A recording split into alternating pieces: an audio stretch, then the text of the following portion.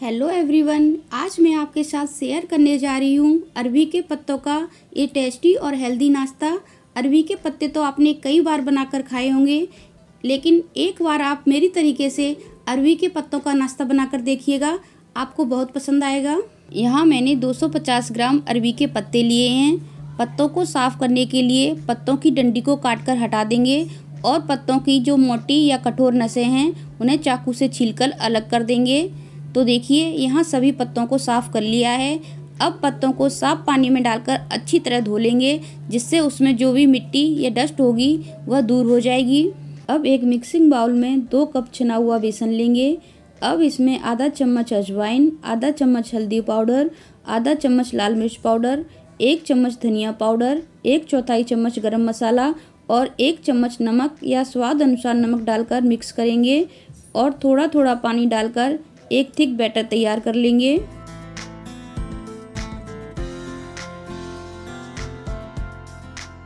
चलिए, अब तैयार बैटर को साइड में रखेंगे और एक थाली लेंगे जिसे उल्टा करके रखेंगे। अब एक पत्ते को उल्टे तरफ़ से उस पर बिछा लेंगे और पत्ते को तैयार बैटर से हाथ या चम्मच की सहायता से पूरा कवर कर देंगे। अब एक दूसरा पत्ता लेकर बैटर से कवर किए हुए पत्ते के ऊपर बिछाएँगे और उसे भी बैटर से कवर कर देंगे। अब पत्ते के ऊपर के हिस्से को पत्ते के ऊपर पलटेंगे और थोड़ा सा घोल लगाकर सील करेंगे। अब पत्ते के दोनों साइडों को भी पत्ते के ऊपर पलट देंगे और ऊपर की तरफ़ से पत्ते को टाइट करते हुए उसका रोल बना लेंगे। इसी प्रकार बाकी के पत्तों को भी बेसन का घोल लगाकर तैयार कर लेंगे। चलिए, अब तैयार रोल्स को स्टीम करेंगे। रोल्स को आप स्टीमर, इडली स्टैंड या किसी कढ़ाई या बर्तन में पानी भरकर उस पर छलनी में रोल्स रखकर स्टीम कर सकते हैं। मैं यहाँ स्टीमर का यूज़ कर रही हूँ। अब स्टीमर को गैस पे चढ़ाएँगे और उसमें दो ग्लास पानी डालेंगे और एक दूसरे स्टैंड को उस पर रखेंगे और उससे ग्रीस कर लेंगे और तैयार रोल्स को एक एक करके सेट करते हुए उसमें रखेंगे। अब पत्तों को लिड लगाकर करीब पंद्रह मिनट स्टीम होने के लिए छोड़ देंगे। यहाँ पत्तों को स्टीम होते हुए लगभग पंद्रह मिनट हो गए हैं।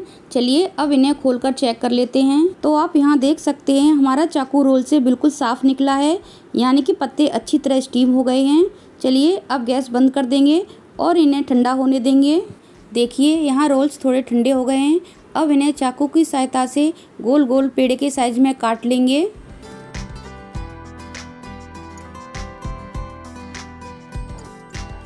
फ्रेंड्स आप देख सकते हैं कि रोल्स कितने बढ़िया बने हैं और इनमें लगा हुआ बेसन भी अच्छी तरह पक गया है।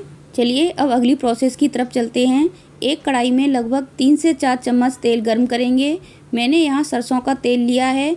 आप कोई भी कुकिंग ऑयल ले सकते हैं। तेल गर्म होने पर गैस का फ्लेम स्लो करेंगे, जिससे मसाले जले नहीं। अब इसमें एक चम्मच राई डालकर छिटकाएँगे अब छः से सात कड़ी पत्ते और एक कटा हुआ प्याज डालकर भूनेंगे। प्याज डालना ऑप्शनल है। अगर आप प्याज नहीं खाते हैं तो न डालें।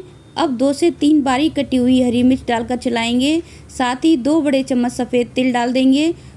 फ्रेंड्स, आप तिल डालना बिल्कुल न भूलें। तिल डालने से इस नाश्ते का स्वाद चार गुना बढ़ जाता है तो आप इसे ज़रूर डालिएगा। देखिए, यहाँ प्याज को भुनते हुए लगभग दो मिनट हो गए हैं और तिल भी अच्छी तरह चटक गए हैं। चलिए अब इसमें कटे हुए अरबी के पत्तों के रोल्स डालेंगे और करछी की सहायता से हल्के हाथ से रोल्स को अलट पलट कर सेकेंगे, जिससे रोल्स टूटे नहीं। अब थोड़ा नमक डालकर मिक्स करेंगे। नमक यहाँ ध्यान से डालें, क्योंकि हमने सभी मसाले और नमक घोल में पहले ही डाल दिए थे। देखिए, यहाँ अरबी के पत्तों को अलट पलट कर सेकते हुए लगभग दो मिनट हो गए हैं, और आप देख सकते हैं इनका कलर भी पहले से कितना बढ़िया हो गया है, और इनकी एक अच्छी सी खुशबू आ रही है। इससे पता चलता है कि हमारा अरवी के पत्तों का स्वादिष्ट लाजवाब नाश्ता तैयार है। चलिए गैस बंद करेंगे और गर्मा गर्म नाश्ते को चाय के साथ सर्व करेंगे।